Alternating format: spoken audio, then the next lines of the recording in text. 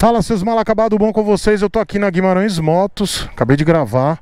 Eu vou aproveitar aqui também para bater um papo com vocês, mas deixa eu mostrar antes a minha 350i Zontes.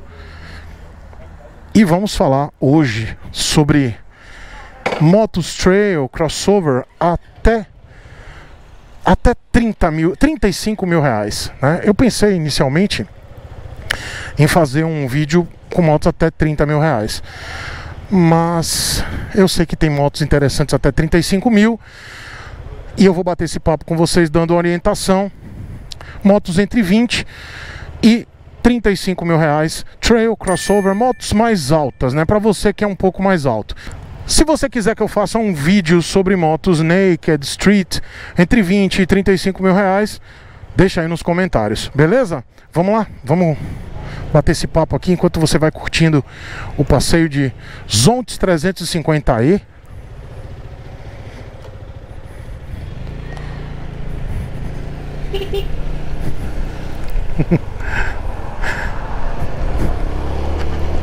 Cíntia Guimarães ali na frente, minha amiga querida. Um beijo a toda a família Guimarães, beijo a Jura, Moniquinha, Cíntia. Ah, eu quero aproveitar para dizer para você que quer comprar uma Zontes 350e que faça sua reserva, faça seu pedido na Guimarães Motos ou na Líder Motos. Manda mensagem, faz a sua reserva, vai ter que esperar a moto chegar, tá?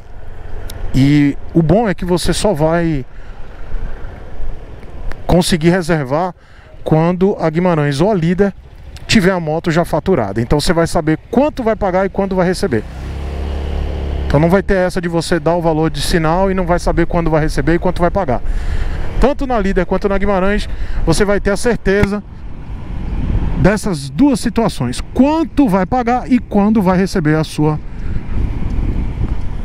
Zontes. Seja a T350X, a T350, a 350E, que é essa aqui que eu estou pilotando, seja a R, a GK, que já está valendo também. Se você quer uma GK, faz a mesma coisa, tá bom? A GK já tá valendo. Já tem GK disponível. A GK é linda. Bom, vamos começar então a primeira moto. Obviamente, vamos falar de NK 150 da Hauju. E que na Guimarães Motos, essa moto está com emplacamento grátis. E já para ser logo objetivo, eu digo para vocês: 3 mil reais abaixo de uma Crosser. Também a Cross é excelente, que eu também vou recomendar, mas falando da NK 150, você vai pagar em torno aí de 19 a 20 mil reais. Eu não lembro o preço ao certo da Guimarães. Entre em contato, fala com o time da Guimarães ou da Líder. E entre 19 e 20 mil reais você vai poder pegar uma NK 150 com emplacamento grátis, tanto na Líder Motos quanto na Guimarães Motos, tá? Contato na descrição e você vai ter aí uma NK 150 com freio ABS na dianteira, o pênalti fica no freio a, a tambor na roda traseira, mas não desqualifica a moto. Mas já, já vale aí pelo freio ABS na dianteira. Isso vale muito. Uma moto para uso urbano, para você se deslocar também na cidade e para trabalho. Você que quer trabalhar, que precisa trabalhar no aplicativo ou até mesmo no mototáxi, você pode usar a NK 150, que ela é espetacular, excelente, muito bem acabada, inclusive muito mais qualidade e confiabilidade no acabamento do que uma Honda ou Yamaha. Eu garanto, tá? Vai na concessionária que você vai perceber isso pessoalmente, o acabamento, a qualidade de uma NK 150 e toda a linha Hauju. Então essa é uma das vantagens, além da durabilidade, o acabamento é melhor do que uma Crosser, do que uma Brosta, então vale muito a pena você pegar um NK 150 que custa 3, 4 mil reais a menos que uma Brosta, do que uma Crosser e ainda na Líder ou na Guimarães Motos você vai ter emplacamento grátis. Galera, o emplacamento dessa moto fica em torno de mil reais, entre 800 a mil reais. Você já vai ter um desconto desse, tá? Emplacamento grátis. Aproveita. Você que está assistindo no futuro, eu estou falando em agosto de 2024. Então presta atenção. Esse vídeo está sendo gravado em agosto de 2024. Eu não sei até quando essa promoção ela vai até quando essa promoção ele estava comigo lá na Guimarães. Um abraço aí para o Damison. que tá nessa Vestron aí. E não sei até quando essa promoção vai rolar, tá em 2024, mas eu estou falando agora em agosto de 2024. Então você que está assistindo no futuro, entre em contato com a Guimarães. Não sei se essa promoção vai estar tá rolando, acredito que não, tá? Mas aproveita você que está ainda em agosto de 2024 para adquirir a sua NK 150 e toda a linha Raul com emplacamento grátis. Então a NK 150 serve para você se deslocar para o trabalho, você que quer ir para academia, para o mercado e para você que quer trabalhar, porque ela já vem até com a tomada USB prontinha, basta colocar o suporte de celular e vai para o trabalho. Ela também já vem com o bagageiro pronto para você instalar o suporte de baú. A outra moto que eu quero indicar que fica aí na faixa dos 20 22 a 24 mil reais a Cross 650, também é excelente, durável, mas é, e com a vantagem de ter ABS na dianteira e freio a disco na traseira, mas com o pênalti de ter os plásticos de péssima qualidade e ela enferruja muito fácil. Mas é uma moto extremamente confiável, durável, funciona também da mesma forma, as mesmas qualidades de uma NK 150, eu digo da Crosser, inclusive é uma moto espetacular uma moto que teve uma belíssima evolução no decorrer dos anos. E serve também para uso urbano, trabalho, deslocamento, enfim, é uma moto muito, muito confiável. Só que as duas motos, tanto a NK 150 quanto a Cross 150, não são motos rodoviárias. Então eu não recomendo essas motos para você que quer pegar rodovia. Não faça isso, você vai passar apuros. São 12 cavalos somente. Dando sequência, eu quero indicar a NH190 da Dafra, né? Uma moto fabricada pela Sim, muito confiável, bem acabada, uma crossover, não é uma trail, é uma moto com a suspensão um pouco mais curta, é uma moto um pouco mais baixa, ela é uma moto para deslocamento urbano, né? uso urbano, não recomendo para viagens. E ela não é uma moto para trabalhar. Eu não recomendo porque a manutenção é cara. Então ela acaba tendo um custo muito alto de manutenção. Mas é uma moto excelente para você que quer se deslocar na cidade. Com um bom custo-benefício para deslocamento. Uma outra que eu vou recomendar, dando sequência aí, a Dafra, é a NH300. A gente agora já sobe para 25 mil reais. E a NH 190 fica também na faixa aí dos 20 mil reais, até os 21, 20 mil reais. E aí subindo um pouco o sarrafo, vamos para a NH 300. Essa tendo as mesmas qualidades da NH 190, né? Uma moto com crossover, não é trail, ela tendo um custo de suspensão um pouco mais limitado, mas é um pouco mais alta do que uma naked, né, normal, uma street, é uma crossover, é uma moto também muito confiável, muito durável, com boa qualidade de acabamento uh, e uma moto aí na faixa dos 25 mil reais. Ela tem 25 cavalos, dá para viajar, dá para rodar na cidade, é confiável, é confortável, dá para viajar até com garupa. Tá mais devagar e sempre, lembrando, tá 25 cavalos, com garupa é devagar e sempre, mas dá para fazer isso sim. NH 300, muito boa. Já dando um salto agora de 25 para aproximadamente 30 a 35 mil reais. Sim, senhoras e senhores. Tornado 300. Tio Chico, você tá doidão. Você disse que a tornada é cara. Sim, a tornada é cara. Mas só que eu quero lembrá-los que a tornada ela faz muito sentido para o povo do interior. Beijo para a galera do interiorzão do Brasil. Você que mora no interior, que tem que pegar aquele batidão, você mora na roça, mora na zona rural, tem que pegar aquele chão batido, aquele batidão complicado. A Tornado 300, XR300L Tornado faz sentido e muito sentido para a galera do interior, para a galera que pega o batidão. É uma moto trail raiz, bem acabada, bem feita, durável. Motor sim é confiável, o motor agora está com praticamente 25 cavalos, né? 24.9 cavalos. É uma moto com um motor que, sim, eu digo que é um motor confiável, não dá para dizer ainda que é durável, porque é um motor que só tem um ano na praça, foi lançado junto com a CB300F e agora veio com a no final do ano foi anunciado e lançado em janeiro de 2024 com a Saara 300 e agora vemos a Tornado 300, né, XR 300L com esse mesmo motor, um motor baseado aí no motor 250F da Twister, motor que tem agora mais lubrificação na parte de cima, na parte de baixo, está mais confiável, econômico, tem bom torque. E a moto, a Tornado, ela tem uma qualidade construtiva muito boa. Então, para você, mesmo pagando caro, vale a pena para você que precisa aí enfrentar obstáculo aí o batidão, piso irregular do interior da roça. E dando sequência também a uma moto trail, mas não é melhor do que uma, uma Tornado 300. Eu indico sim a Lander. A Lander já é uma moto mais completa. Ela tem um custo também na faixa dos 30 mil reais. Fica aí entre 28 e 30 mil reais.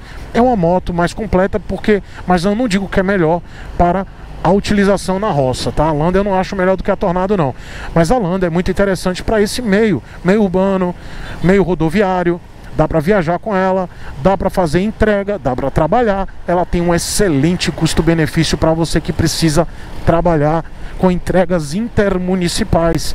Você que precisa fazer entrega mesmo, tanto na cidade quanto na região metropolitana, vale a pena, porque Lander ela tem um excelentíssimo custo-benefício, custo de manutenção vale muito a pena.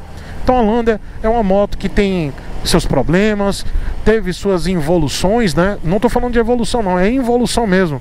Infelizmente, ela perdeu qualidade nos últimos quatro anos, ela continuou com aqueles problemas crônicos na cubo da roda traseira, mas agora piorou muito com a questão dos plásticos de péssima qualidade, enferruja, mas é uma moto com motor confiável, pãozinho quente, aquela, aquele motor que a gente já conhece aí praticamente 15 anos, motor que não quebra, não dá dor de cabeça, durável pra caramba, é aquela moto confiável, garantida, mas que está fraca, cansada no mercado, merece aí uma atualização. Mas a Lander sim é uma moto que eu recomendo muito para você trabalhador das duas rodas, você que mora na cidade, que quer se deslocar, ou até mesmo você que mora na roça. Mas você que mora na roça eu ainda indico melhor aí a Tornado 300, tá? Lander 250 excelente opção também na faixa aí entre 28 e 30 mil reais. Uma pena que ela chegou a absurdos 30 mil reais. Não vale isso, mas infelizmente é o que tem para hoje. Dando sequência aí logo depois da Tornado e da Lander. Vamos pular agora para marcas, como diz o meu querido Alan do canal Minha Moto, marcas alternativas. Vamos falar de Zontes. T350 e a T350X. São duas crossover, a T350 com rodas de liga leve e a T350X com rodas é, raiadas, pneus sem câmara. Zontes, galera, acabamento excepcional, painel completíssimo, que marca TPMS, né, pressão dos pneus, tudo bem visível, tudo bem feito.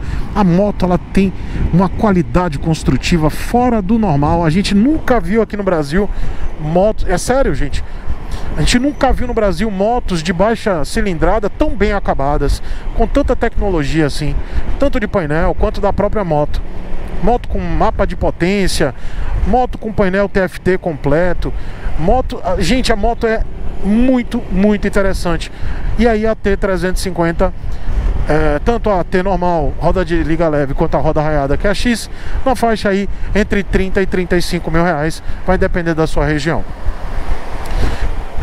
São motos muito boas, não dá para falar ainda em durabilidade, né? Porque tá cedo, a Zonte só tá no mercado há um ano e meio, há um ano, né? Na realidade, pouco mais de um ano.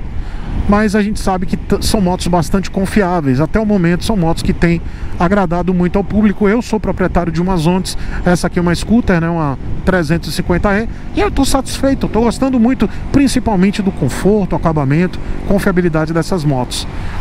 Não vai ser diferente com a linha T.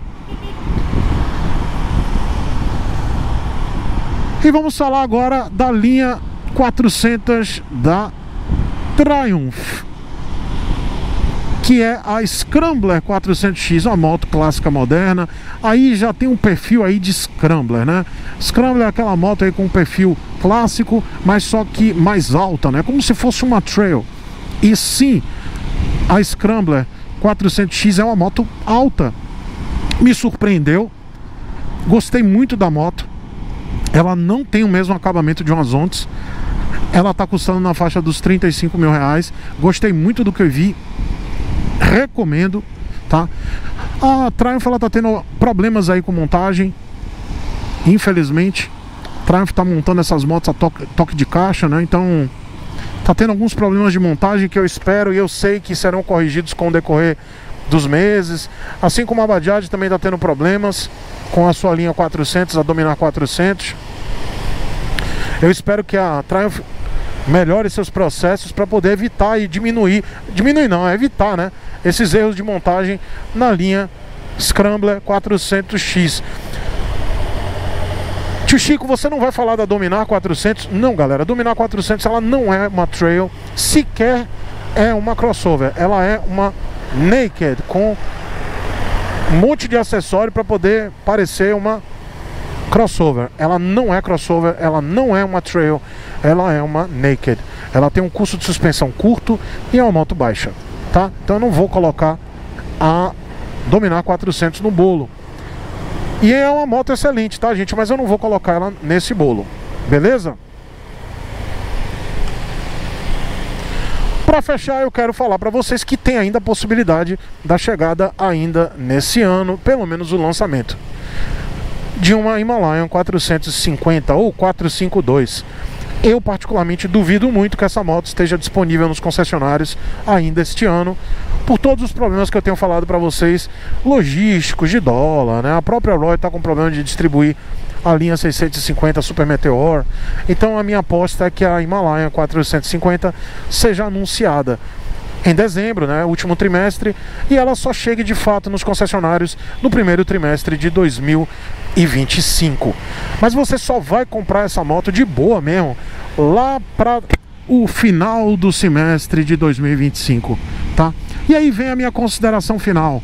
Galera, minha sugestão para você que quer comprar uma trail hoje, eu sugiro hoje, 2024, agosto de 2024, eu sugiro que você aguarde. Aguarde o lançamento, pelo menos o anúncio ou o lançamento de uma nova Lander.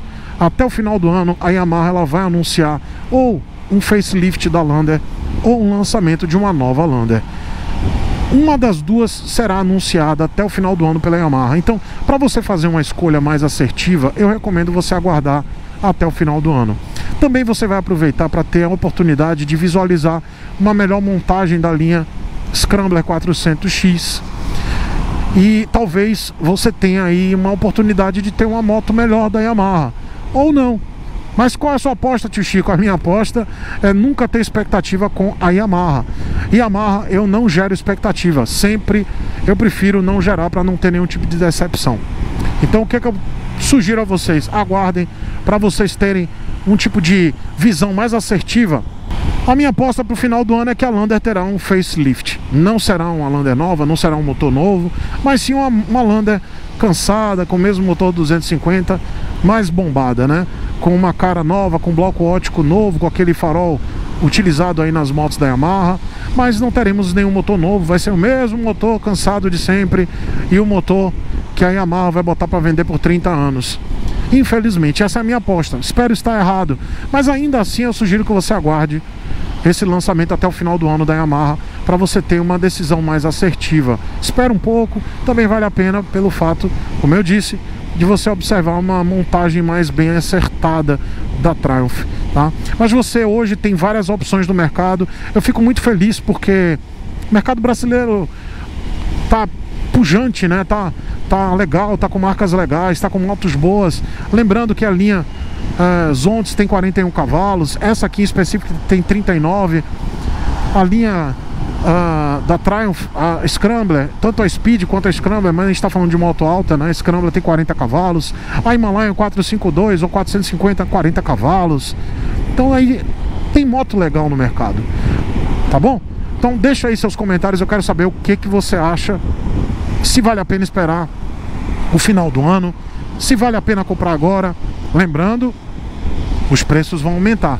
Então faça a melhor decisão. Lembre-se, apressado come cru e quem não planeja se, se lasca. Então tente se planejar, tente fazer uma compra é, com um consumo consciente que possa atender sua necessidade, sem desespero, bem planejada, bem pensada. Faça a sua escolha. Beleza? Eu vou pedir para você que gostou do conteúdo ou que gosta desse conteúdo, torne-se membro do canal, me ajuda. Seja membro aqui desse canal. E se você puder, se inscreve, toca no sininho e me segue lá no Instagram, arroba Chico Sepúlveda. Tá aí, ó, logo no, no primeiro comentário aí, tá fixado e na descrição, beleza? Me ajuda aí, seja membro do canal, me ajuda aí com a barrinha de chocolate por mês. Um beijo a todos os membros do canal. O nome de cada um de vocês vai aparecer aí agora. Toca!